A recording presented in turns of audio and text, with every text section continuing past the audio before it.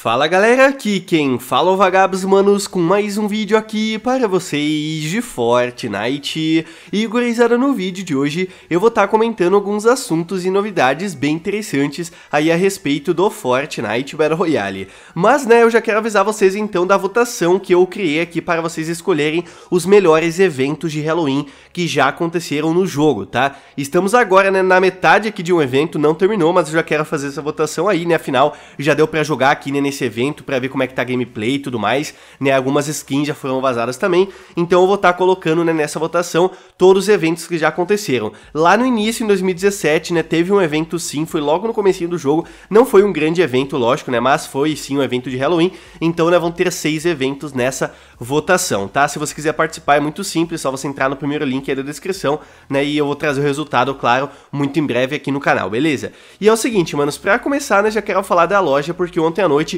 foi lançado então a skin do Adão Negro, né, que já tinha sido anunciado pela Epic Games, é o The Rock novamente aí aparecendo no jogo. É exatamente idêntico à Fundação, né? Muita gente comentou: "Ah, a Epic Games só pegou o molde do Fundação, colocou um outro traje e pronto". Mas é bem isso mesmo, né? Não tem o que fazer, tá ligado? Afinal, é o The Rock, então deles tem que fazer o mesmo personagem, tá ligado? Enfim, né? Tá aí, então Adão Negro, né? Custa 1.800 bucks, mas vale muito mais a pena você comprar né, o pacote completo ali pelo preço de 2.000, né? Afinal, é só 200 bucks a mais, né? Você ganha aí todos os itens do conjunto. Enfim, né? Se você quiser comprar aí apoiando o canal, utilizando a tag Vagabito, eu agradecer de coração, tá? E é o seguinte, mano, já aproveitando aqui o assunto da loja, uma parada que eu quero discutir com vocês é um post publicado no Reddit que eu achei bem interessante a respeito da Epic Games não trazer de volta, algumas vezes, skins masculinas de certos conjuntos. Ele colocou, né, como exemplo, aí esse conjunto, né, que tem duas skins, tem a Night Light, que é skin feminina, e o Light Show, que é skin masculina. E a gente pode ver ali embaixo, né, que ele colocou quantos dias as skins ficaram sem aparecer na loja, né, quando apareceram pela última vez. A Night Light, 50 dias atrás, então nem dois meses, já o Light Show, 438 dias, é muita diferença. Ele ficou mais de um ano sem aparecer, tá ligado? Claro, né, que agora os dois estão na loja, mas nesse meio tempo aí, né, em vários dias, somente a, Light, a Nightlight voltou, né, a masculina não. Claro, né, isso não acontece sempre, a maior parte dos pacotes as skins voltam ao mesmo tempo, mas se a gente pegar, não é tipo, ah, só um, dois pacotes que aconteceram isso. Já aconteceu aí com alguns pacotes, tá ligado? E é sempre skin masculina praticamente que fica sem aparecer, né, fica mais tempo sem voltar na loja. Vou citar alguns exemplos aqui pra vocês. A skin da Bullseye, né, a bala no alvo. Como dá pra ver ali no canto direito, ela aparece a todo momento na loja, basicamente, né, não fica um mês quase sem aparecer. Já a skin masculina, né, apareceu uma vez lá em 2019 nunca mais. A skin na Instinct também é a mesma coisa, ela apareceu já algumas vezes na loja, né? A última vez foi dia 5 de setembro, então há pouquíssimos dias atrás. Já a skin do Reflex, que é masculina, tá mais de 1.300 dias sem aparecer na loja. É uma baita diferença, né? E bom, né? Claro que tem outros pacotes que também acontecem isso, e pelo que a galera comentou, é quase sempre mesmo com a skin masculina.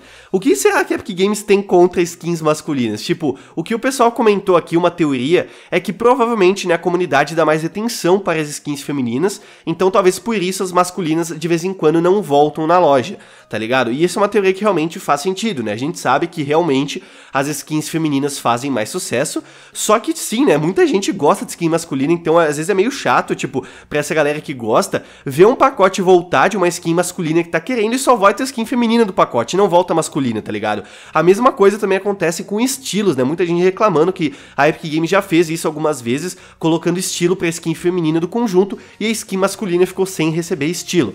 Realmente, né? A gente sabe que skin feminina tem mais atenção, então a Epic Games acaba, né, dando mais atenção também.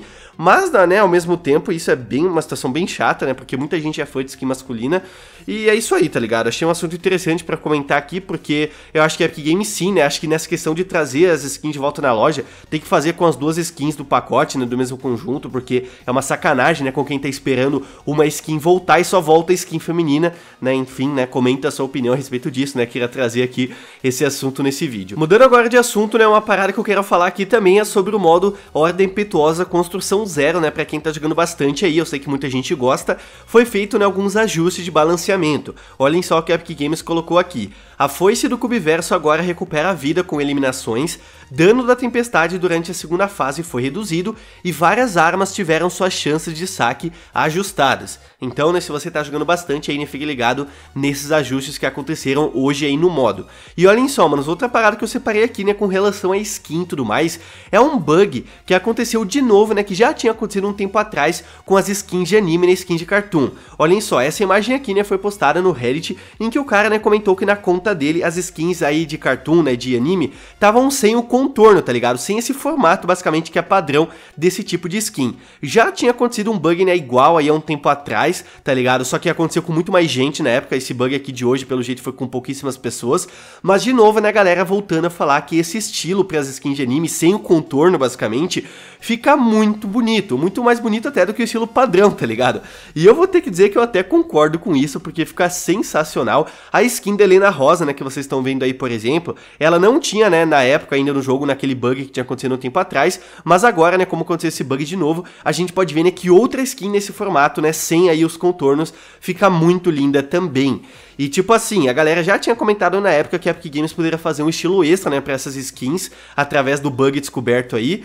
E de novo, né, o pessoal tá voltando a falar sobre isso, porque realmente, a gente sabe que as skins de cartoon ali de anime, muita gente gosta, tá ligado? Porque, inclusive, né, tem personagens muito famosos, né, como por exemplo Naruto ali, Dragon Ball e tudo mais.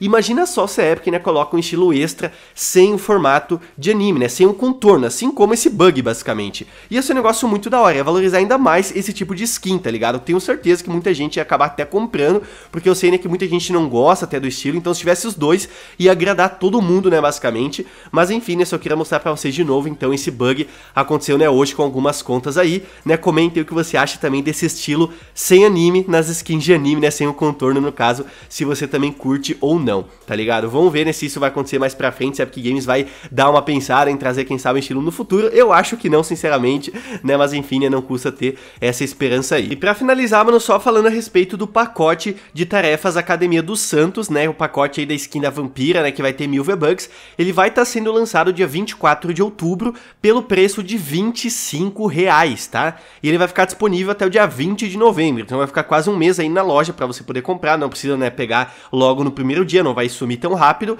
e o preço tá muito bom, tá ligado? Porque tem uma skin da hora, tem mil V-Bucks, né, então vai estar tá bem justo mesmo, né, se você tá afim, né, não saber o preço agora, né, foi revelado pra gente, 25 reais, né, dia 24, daqui 3 dias, já vai estar tá sendo lançado aí. Mas então é isso, galera, espero que vocês tenham gostado aqui do vídeo. Comente embaixo né, o que você achou dos assuntos que eu falei aqui. Se você quiser participar da votação, né, então, sobre os eventos de Halloween, né, primeiro link aí da descrição do vídeo, né, muito simples e rápido, e além disso, claro, vai estar tá contribuindo, né, para um futuro vídeo que eu vou trazer no canal, né, eu quero saber os opiniões de vocês a respeito dos melhores eventos de Halloween que já tiveram no jogo. E se você gostou do vídeo, manos, deixa o likezão aí, porque não custa nada e me ajuda muito, e claro, né, também mande aí pros seus amigos, para todo mundo ficar ligado nesses assuntos, né, a respeito de skin de anime, né, sem a versão contornada, né, as skins masculinas de certos pacotes não voltam, enfim, para comentar o que acha né, a respeito disso aí. Então é isso, manos, aquele abraço, se vemos no próximo vídeo, valeu, falou e eu fui!